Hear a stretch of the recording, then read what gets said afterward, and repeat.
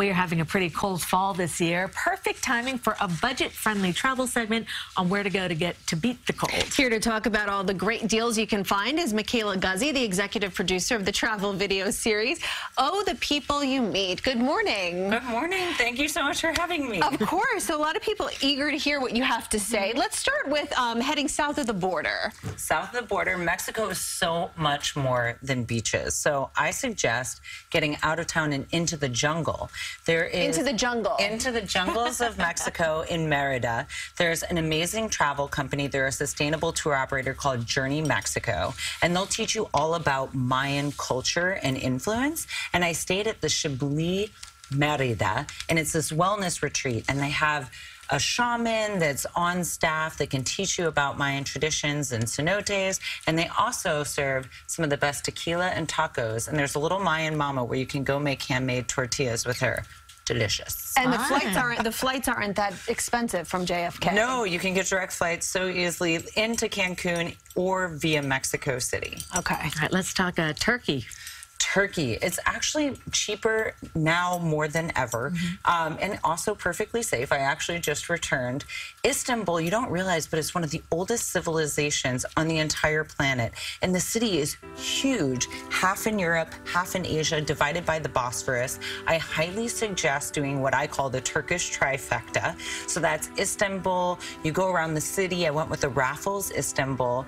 It's a beautiful hotel, and they have all this modern local art. And then they took me out into the city, into people's homes, to the Istanbul Modern, and even to meet like jewelers like this young lady, Begum, um, to see modern applications of Ottoman influence. And then we got out of town with hike and sail to see the Roman ruins of Ephesus and to see the hot air balloons at sunrise. This sounds super expensive. How much does a trip like that cost? No, turkey right now yeah. is about six to the dollar. So it's actually quite inexpensive. And you can stay at luxury hotels for less. Really? Okay.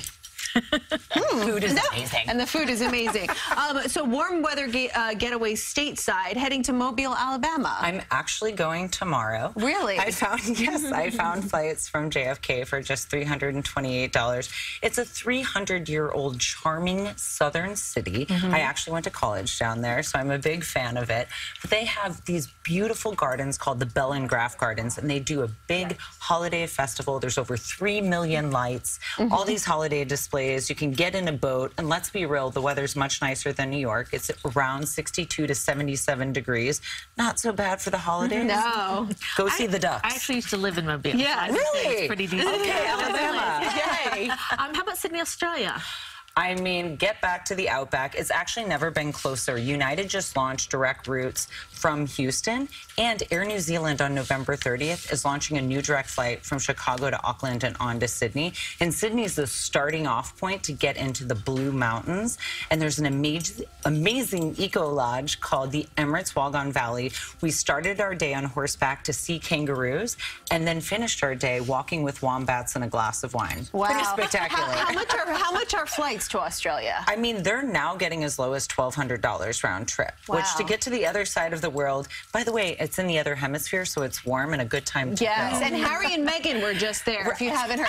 Really quickly, because we just have a few seconds, if you don't want to fly, you can drive to the Finger Lakes right here in New York. Yes, just four hours upstate. It's a scenic, beautiful drive. It's also one of the best wine-producing regions in the country. And over the holidays, you can go to the Corning Glass Museum and make your own ornaments at the museum. Nice. Great ideas. Thank you Thank so you, much. Michaela. We appreciate it.